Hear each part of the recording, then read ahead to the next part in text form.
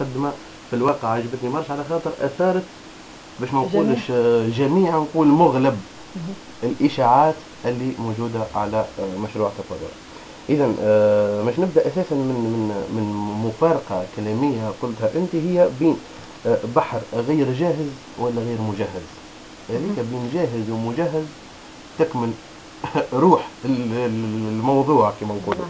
آه بالنسبة لل الاشغال اللي وقعت في مشروع تفارورة هو اي أي مواطن يمكن ولا ولا ولا بحر ولا أي إنسان يعيش ولا يتعدى قرب الساحل الشمالي لمدينة صفاقس ساحل سيدي منصور يلاحظ مباشرة التغير اللي وقع حتى في المنظر بين نوعيه المياه لون المياه نوعية الساحل. ما إلى ذلك من, من, من الأمور الظاهرة للمشاهد في العين المجردة. ليش ما ندخل في, في التحاليل وفي الأمور التقنية وما إلى ذلك. لكن إذا كان نرجع آه، إجابة على الطلب بتاعك للأشغال اللي وقعت ولا بعجال على خاطر مش هذا الهدف الأساسي. أما باش نقولوا أنه وقع استعمال إزالة التلوث حسب المرجعيات البيئية الأكثر صعوبة في المجال على خطر.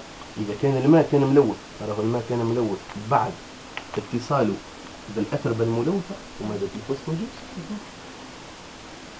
والحفر متاع البحر وحفر مواد الفوسفوجيبس هو مع النهاية متاع مصنع مصنع إم بي كا